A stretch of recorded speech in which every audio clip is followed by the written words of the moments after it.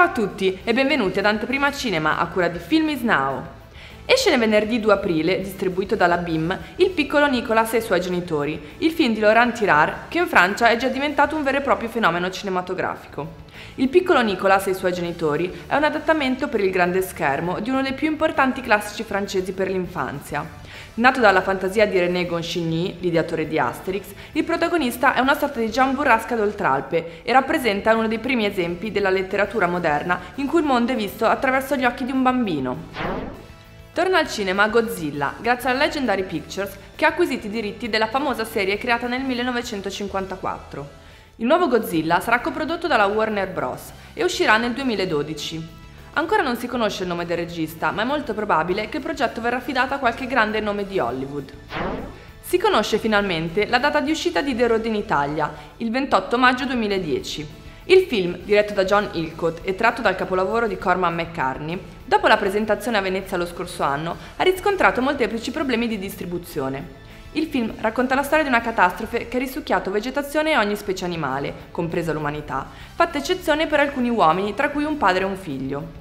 Il cast vanta la presenza di Vigo Mortensen, affiancato da Charlize Theron, Robert Duval, mentre la colonna sonora è stata affidata a Nick Cave.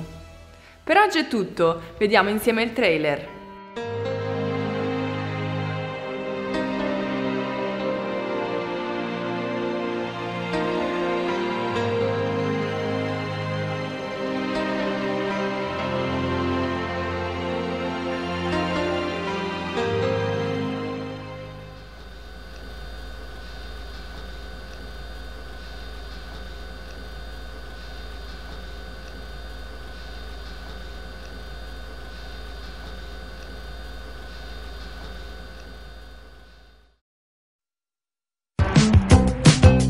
Loro non credevano nell'amore. Pietro, guarda la dottoressa Palletti. E invece Ci manca l'amore. loro volevano innamorarsi. Mi manchi, mi mancano i bambini, io ti amo. Mo ti amo, ti amo, ti amo, ti amo, ti amo. E invece Vattene Dio, vattene! La mia vita fa schifo, non ho un uomo, al lavoro mi massacrano. Mi ha abbandonato, mi ha lasciato da solo, con una figlia di un anno. solo Alex e Nicky credono ancora nell'amore. Scusa, ma ti voglio sposare. È vero, che ti sposerai. Mamma, papà, mi sposo. Ti faccio tanti, tanti cari auguri. sempre. Bravo, bravissimo. Sì, sì, sì, ho capito, però lasciami la guancia, non stacchi così, dai. Soprattutto mio padre era il più entusiasta. Cambiare casa, ah, fare la spesa e fare i conti a fine mese. ah, la casa al mare, da avere un figlio. Stai guardando il mio tatuaggio? Bello, eh? Cinese. Dragone inviolabile. Che carino! Guardi questo. Smile, sposa felice. Per amore. Guarda che ormai il 50% dei rapporti d'amore nasce su internet Io ce l'ho Messenger, se rimorchia una cifra. e anche i tradimenti.